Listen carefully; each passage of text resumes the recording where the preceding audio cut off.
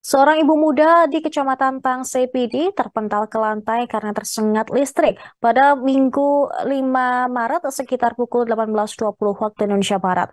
Anak korban langsung menjerit histeris saat kejadian tersebut.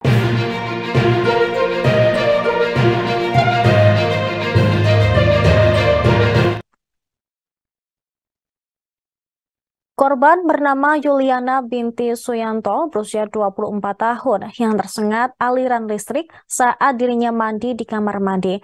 Namun saat mengambil sabun mandi di kotak yang menempel pada dinding kamar mandi, tanpa sengaja tangannya menyentuh seng atap kamar mandi. Sementara di atas seng atap rumah itu ada kabel listrik sehingga tubuhnya langsung tersengat dan terpental ke lantai. Informasi selengkapnya akan disampaikan oleh rekan wartawan Tribun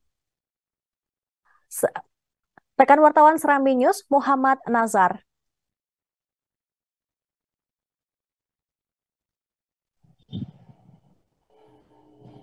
Ya, ya terima kasih Sarah.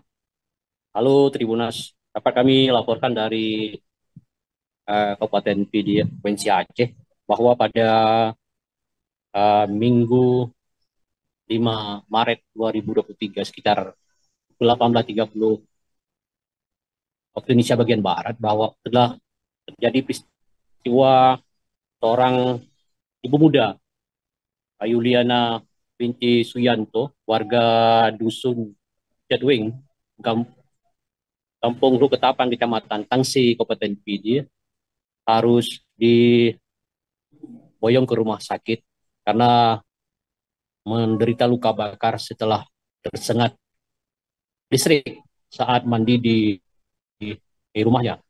Berdasarkan data yang diterima dari pihak warga dan sumber dari kepolisian menyebutkan bahwa pada hari Minggu 5 Maret 2023 uh, Yuliana maksud kami bersama anaknya di rumahnya. Namun pada pukul 18 uh, korban pergi ke kamar mandi untuk mandi namun uh, Tribunus saat mengambil sabun di kotak yang menempel di dinding kamar mandi ternyata tidak sengaja tangan dari ibu muda ini menyentuh seng atap rumah. Dan di atas seng tersebut ternyata uh, Tribunus ada kabel listrik yang diduga bagian telanjang. Sehingga saat menyentuh seng tersebut, uh, tubuh uh, wanita muda ini, ibu muda ini terpental ke lantai kamar mandi. Peristiwa tersebut sempat disaksikan oleh anaknya uh, bernama Shiva Suci yang berumur tujuh tahun. Dia melihat sang ibu uh, terkapar di lantai kamar mandi. Sehingga uh, Tribunus sang anak ini menjerit histeris dan minta tolong pada keluarga di samping rumahnya. Hingga jeritan sang anak didengar oleh tetangga dan uh, sejumlah uh, tetangga yang dekat rumah korban langsung masuk ke dalam rumah dan melihat uh, Yuliana yang terkapar di uh, lantai kamar mandi dengan uh, kondisi tidak sadarkan diri.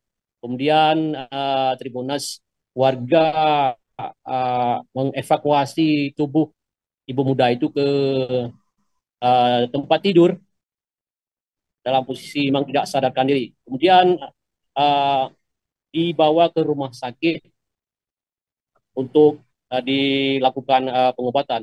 Namun saat berada di rumah sakit atau sekitar setengah jam berada di uh, rumah sakit umum Mufid Sigli, uh, korban uh, bisa sadar kembali, namun bagian uh, tubuh tidak bisa bergerak karena akibat uh, kesetrum listrik.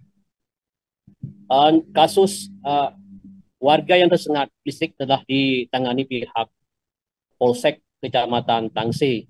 Namun untuk uh, update terakhir, saat ini kondisi ibu muda ibu muda telah mulai pulih dan masih dirawat di Rumah Sakit Umum Mufid Stigli. Demikian Sarah.